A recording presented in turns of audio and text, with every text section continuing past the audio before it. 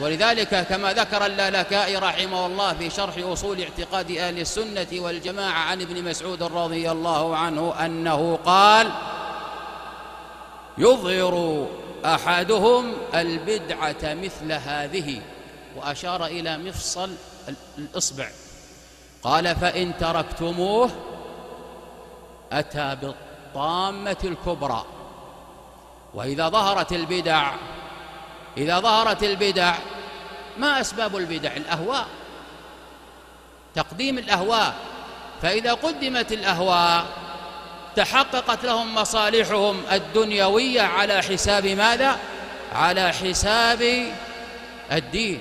وهنا يكون الضلال المبين.